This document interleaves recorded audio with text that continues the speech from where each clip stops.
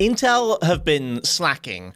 Over the last 8 months or so, I've reviewed mini PCs with all manner of different processors on board. Sometimes it's a super efficient chip for low power applications, sometimes it's a gaming powerhouse that can play AAA games at 60 FPS. And sometimes it's a furnace that throttles back from any usable level of performance to avoid cooking itself to death. That last category usually belongs to Intel. The various 12th and 13th gen i7s and i9s I've tested generally don't impress next to the latest Ryzen APUs. Or even older ones now that I think of it. The GMKtec K9 features one of Intel's latest range of CPUs, and in a relatively rare moment for Team Blue, they actually promise something new.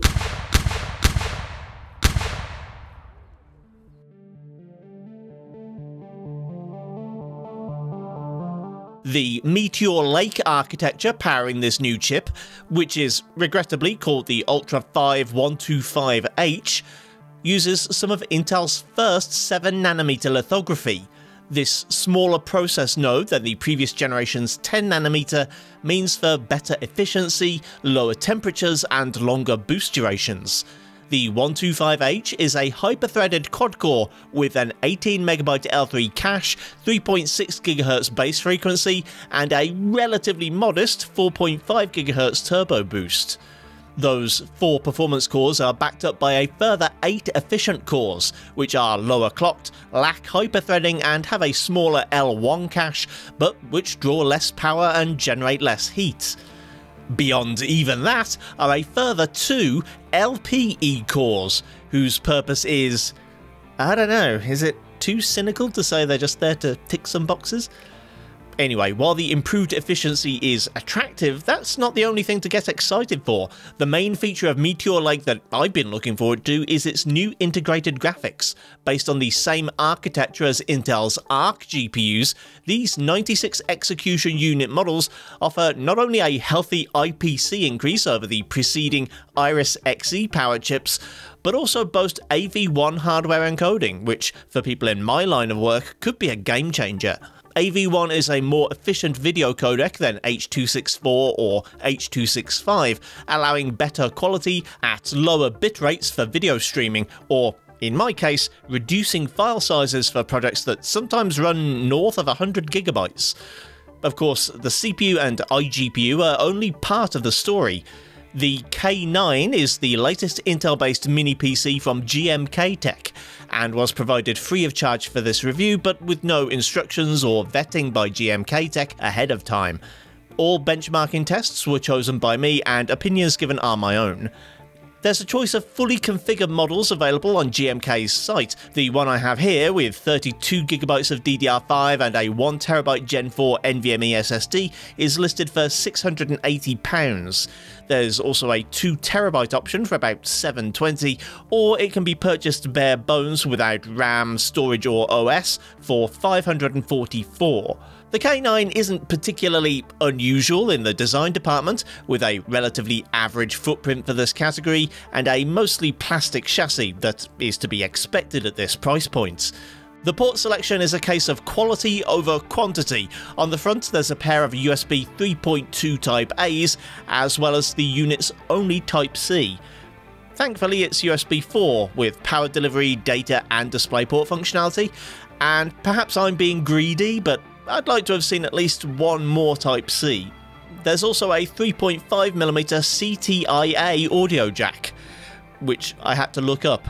CTIA is apparently the standard everyone uses for audio jacks except China, who use OMTP, so I guess this is one of those things I didn't know I needed.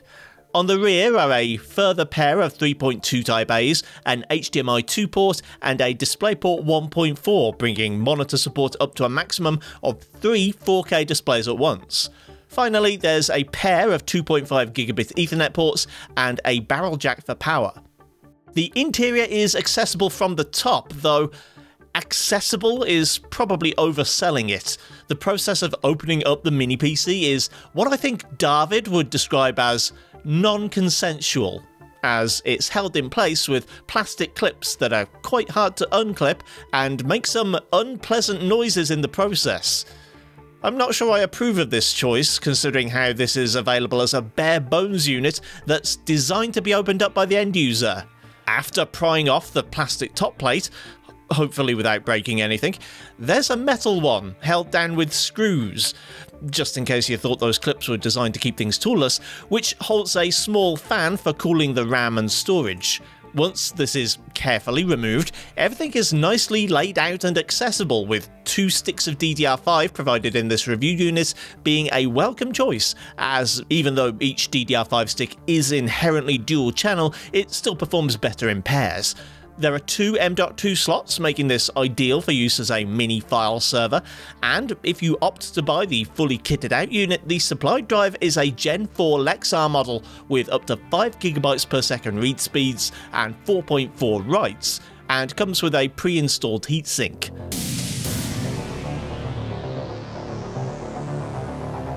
When it comes to testing Intel machines, I tend to start with CPU Z, as while it's not particularly representative of real world performance, it does help illustrate throttling behaviour quite nicely. Normally, Intel chips throttle back early on. Thankfully, that isn't the case here. Across my 10 test runs, the deviation from maximum to minimum is only about 100 points in multi-core and 19 points in single core. This has been my single biggest criticism of mini PCs running Intel's 10nm chips in the past, and I'm glad to see it's finally been resolved. This impressive consistency over time carries over to Cinebench R23. A 10 minute looping render scored 13429 on the first run, and by the end that had only dropped to 13252. When I'm done being impressed by basic stuff, I should probably also compare it to the competition, this score is higher than any unmodded Intel i7 or i9 I've tested so far, and the only comparable result came from a Chuwi with a 13th gen i5 and a relatively huge heatsink. Looking at the Ryzen competitors, the 7940HS of course score higher, but the 125H does manage to match the old flagship Ryzen 9 6900HX. Geekbench 6's CPU test seems to be a bit less of an endurance challenge, so previous gen Intels haven't fared quite so poorly. Still, the 125H handily beats the 12th gen i9 and is within 5% of the 13th gen in the multi-core test. The GPU benchmarks are where things get really interesting. The OpenCL result is about 10,000 points higher than the Iris Xe in the 13th gen i9, and while it's not quite in the ballpark of the Ryzen's, it's as close as an Intel's gotten so far. Previous gen Intels have done better in Vulkan than they did in OpenCL, but while that means the margin is smaller, the ARC graphics are still a big improvement. One factor of the specs I didn't mention was the presence of an NPU, or Neural Processing Unit. Aside from sounding like a MacGuffin from the second Terminator movie, this promises to make the 125H processor a viable option for people working with machine learning, so I also ran Geekbench's ML benchmark to get an idea of how it performs. This is the first time I'm using this test, so I don't have any points of reference, but the CPU test scores 2777, According to the developers, an i7-10700 has an expected CPU score of 1500, so we're looking at an 80% improvement over an 8-core 16-thread desktop chip on the 14nm process. The GPU score of 3167 seems to fall between an 8-core Apple M1 iPad and an M2 iPad, according to Geekbench's charts, which seems fully populated with mobile devices and I'm not 100% sure why. The 3DMark results are a huge win for the 125H, especially Time Spy.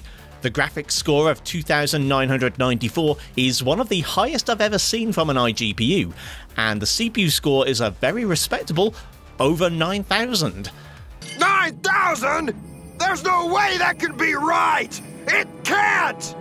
Firestrike isn't quite as impressive, though as a DX11 test, that makes sense. Arc doesn't natively support that API and instead has to emulate it. And while that emulation performance has improved over time, it's still not surprising to see it fall behind the AMD chips.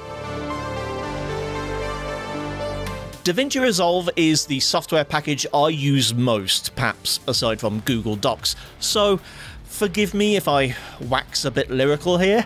Thanks to the Arc iGPU on the 125H, there's an option to render out to the AV1 codec with hardware acceleration. So, for chips that support AV1, I'll be adding it to my usual test suite. I decided to use this change in procedure as an opportunity to also change the way I benchmark Resolve, being a little more scientific and not simply using default settings quite so much. I will now manually set the output bitrate to 30 megabits on H.264, H.265 and AV1 where appropriate, which will result in similar file sizes from all three codecs, but with different levels of quality in the final image of each. This will also invalidate all my past mini PC results in Resolve, so my comparison charts will have to start from scratch. The free version of Resolve, which I'm using for this test, renders H.264 on the CPU and H.265 on the GPU. It appears, at least in the case of this Intel chip, that it will also use the GPU for rendering the AV1 codec. So, whereas the H.264 render completed in a little over 9 minutes, the GPU accelerated renders finished in just 7.5. To show why I think AV1 is so important for video editors, I loaded the rendered videos back into the timeline. At the same bitrate, H.265 is better quality than H.264, but way heavier to work with. See how scrubbing through the timeline is slower over the H.265 clip. Scrubbing over the AV1 section is fast, even faster than H.264. AV1 offers better quality than H.265 at the same bitrate, and is easier for at least this CPU and GPU to work with. And so I think if you're willing to commit to an AV1 workflow, then this mini PC could absolutely be used for editing 4K video. Anyway, enough of me gushing about AV1. Blender completes the classroom test scene in 7 minutes 33. This is actually a little short of the 13th gen i5 in the Chuwi, and a long way short of the 7th gen Ryzen's, but the thermal and power limited 12th and 13th gen i9s needed to have their TDP limits disabled just to break even with the 125H.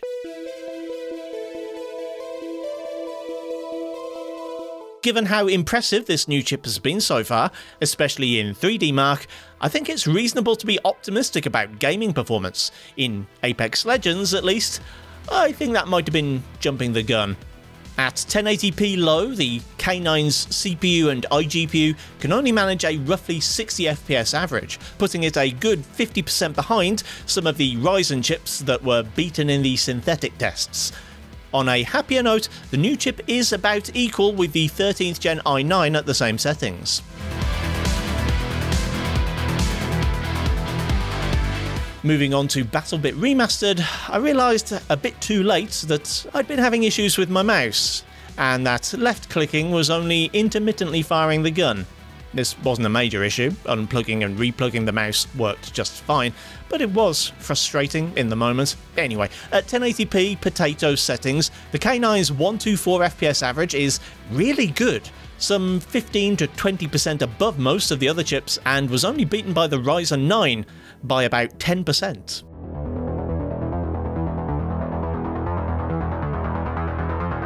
CS2 is an area where Intel mini PCs have been disappointing so far.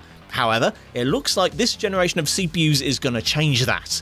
The K9 is the only Intel-based mini PC I've tested so far that can break past 100 FPS on average at 1080 low without FSR, meaning it's actually decently playable, for a system without a graphics card at least.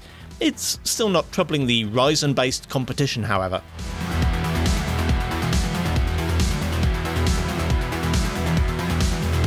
Probably the only genuinely bad experience I've had so far on this CPU was Fortnite, and if you look at the average, you wouldn't know it. This has the potential to be a very solid 100 plus experience in performance mode at 1080p, except for the constant stutter It's not the usual kind either. Previous gen Intels all score terribly in the 1% lows compared to Ryzen's, but this is something else entirely. I tried three full matches and had the same results each time, so I suspect this is something the ARC driver team might need to work out. No rush though, it's just one of the world's most popular games. In your own time, folks.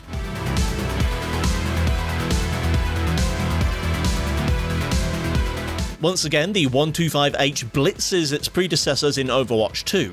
Previous gen i7s and i9s could only be expected to hit somewhere in the 60s or 70s at 1080 low, whereas this chip can hit 100 at those settings. Frame pacing wasn't ideal, but that seems to be true of most iGPU based systems, and frankly, I didn't notice too many issues in actual gameplay.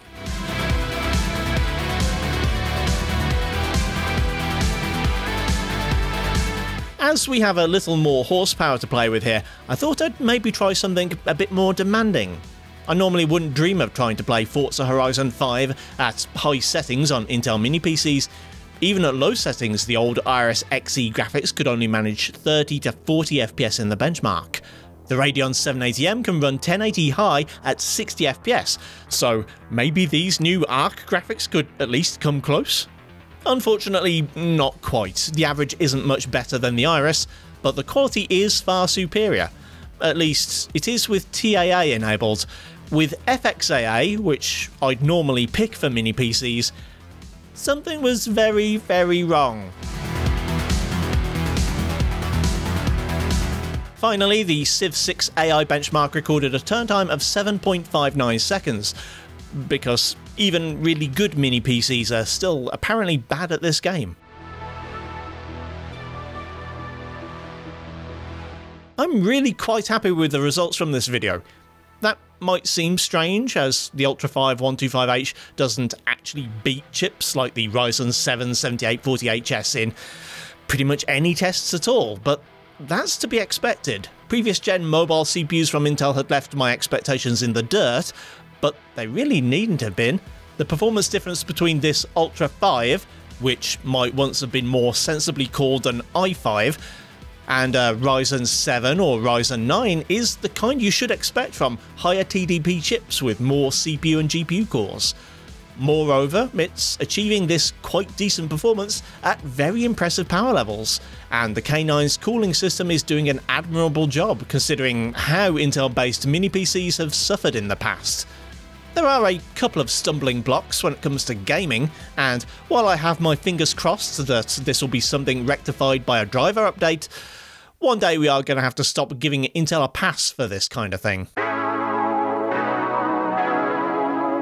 I guess I'm most happy about having a mini PC that handles AV1 so well, and I'm looking forward to integrating it into my YouTube workflow.